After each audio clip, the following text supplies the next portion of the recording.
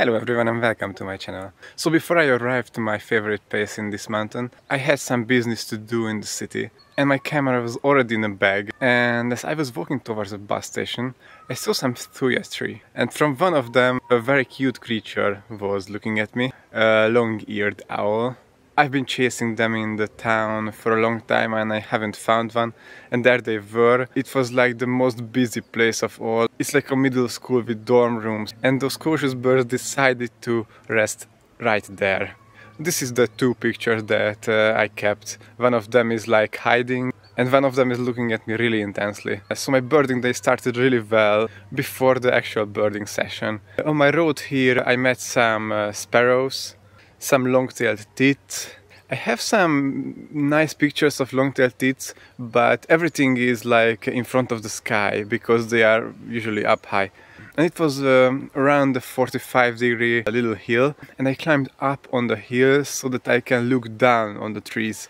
I didn't capture like a very good picture, but at least the background is uh, nice and soft. Right there I also captured some uh, blue tit trying to get some food. When I got here, the first thing uh, I saw was Eurasian wren. They are one of the smallest birds in Europe, and it was sitting on a pile of tree like that. I managed to capture some nice photos and uh, I think I managed to capture some when it's cleaning itself. It is the place where I feed the chickadees every day, so I have to come here every day uh, not to let them down, especially in the cold nights.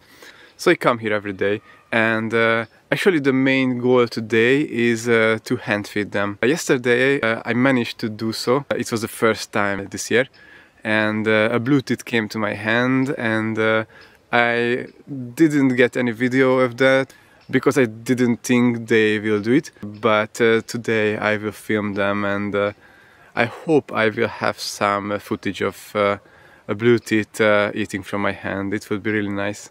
Let's see how it goes.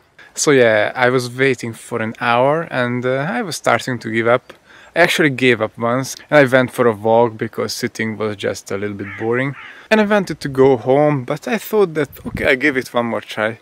And I sat down and waited for half an hour and uh, the blue tits came. I think there were like three of them and that way they provided each other some competition and that made them uh, land on my hand.